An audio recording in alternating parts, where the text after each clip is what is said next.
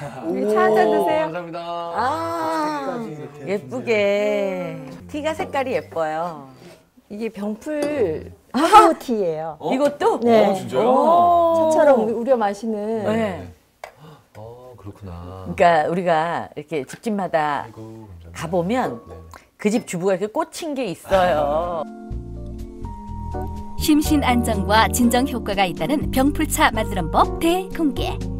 먼저 병풀을 깨끗이 씻어 말립니다. 그 다음 바싹 마른 병풀 잎은 주전자에 적당량 덜어 넣어 뜨거운 물을 부어주는데요. 병풀차 만들기 정말 간단하죠? 한번 드셔보세요. 네. 어? 음. 어, 이런 향이 나는구나. 이게 되게 릴렉스하게 할 수 있는 음. 진정 작용이 있고 이렇게 심신을 안정시켜주는 그런 어, 효과가 어, 있대요. 어.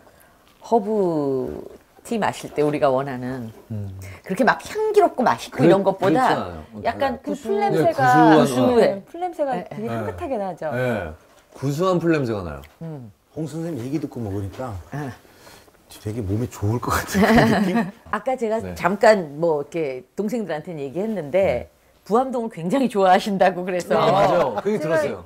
그 얘기를 본인 입으로 한번 듣고 싶어요. 네, 제가 시집 와가지고 이제 네. 부암동에서 살기 시작했어요. 네. 근데 여기서 지내다 보니까 너무 좋은 거예요. 뭐가 그렇게 좋아요? 저희 집이 원래 이제 저희 신혼집이 응암동이었었는데 거기서 이제 저희 어머니 아버님 댁에 이제 다니러 오고 뭐 이렇게 하다 보니까 여기 올, 여기서 잠자고 일어나면 새소리가 들리고 아. 대부분 차 소리가 들린다거나 뭐 이러잖아요. 네. 근데 새소리가 들리고 막 공기가 너무 좋은 거예요. 일단 맞아. 공기는 좋더라. 그치? 아까 느꼈지. 네 몰랐는데 공기가 확실히 다르고 네. 사계절이 이렇게 지나갈 때 산도 가깝고. 너무 예쁜 거예요. 그러니까 뭔가 좀 내가 살아있다는 느낌이 들고, 그러니까 꽃이 피고 봄에는 꽃이 피고 여름에는 또 막 바람이 불면서 그막 녹음이 우거지는데 어디 다른 데 가을에는 또 단풍이 또 엄청 예뻐요.